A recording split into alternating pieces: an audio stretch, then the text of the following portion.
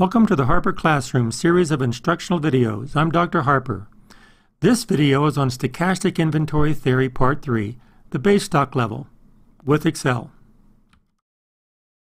This is Part 3 in a four-part series on Stochastic Inventory Theory, and this base stock level is in a periodic review system. Well, let's look at the concept.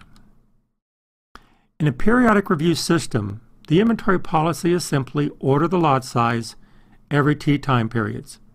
So here I'm placing my order. This is my inventory level. And I'm placing my order every t time periods where t represents the inventory period and LT is the lead time. But our demand is not a constant rate demand. Our demand is a stochastic demand. So we will assume that it follows a normal distribution with a mean mu and variance sigma squared. When our demand is stochastic, then we consider something called a base stock level. Now at the base stock level, when you place your order, you will have an inventory position. And that inventory position is compared with your base stock level. And the difference is going to be your lot size. Then your inventory policy will be order up to the base stock level from your inventory position every t time periods. So now, let's look at the derivation. When you place your order, you have an inventory position, which is your inventory on hand. It could also include orders not received or back orders.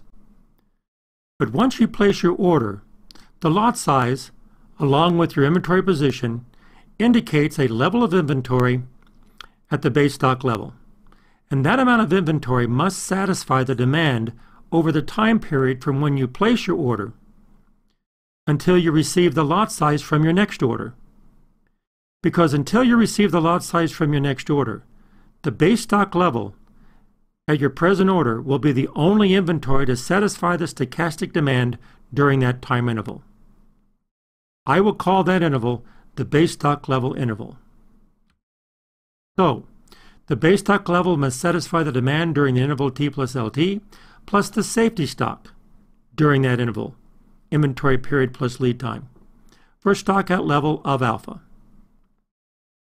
Expressing that in equation, the base stock level equals the demand over the base stock level interval plus the safety stock for a stockout level of alpha.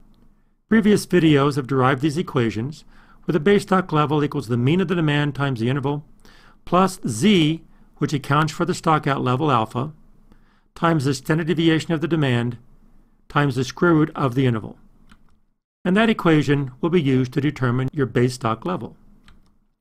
So the periodic inventory policy then, which is TBSL, is order up to the base stock level from the inventory position every T time periods, and there's the equation for the base stock level. So, let's look at some mechanics.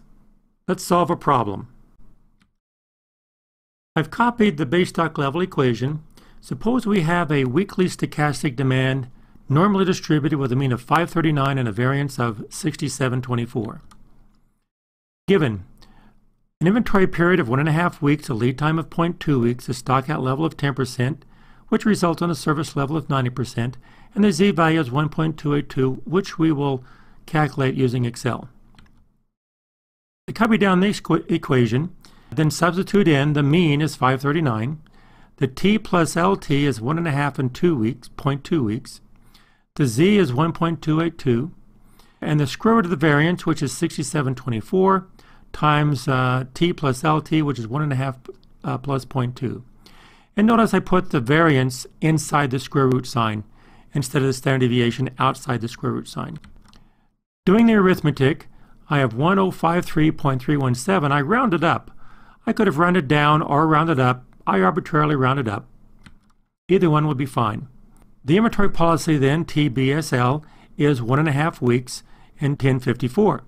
So the periodic inventory policy then is order up to 1054 from the inventory position every one and a half weeks. So now, let's see how to solve this with Excel. So let's type in the values. The mean is 539, the variance is 6724, the inventory period is 1.5, and the lead time is 0.2 with an alpha of 0.1.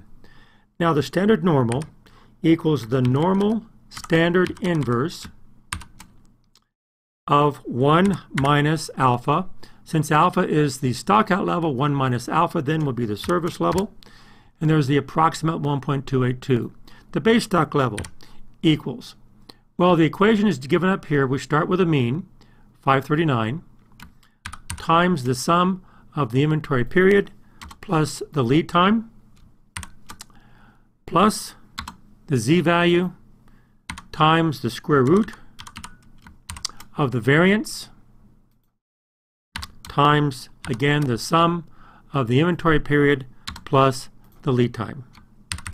And there's our equation.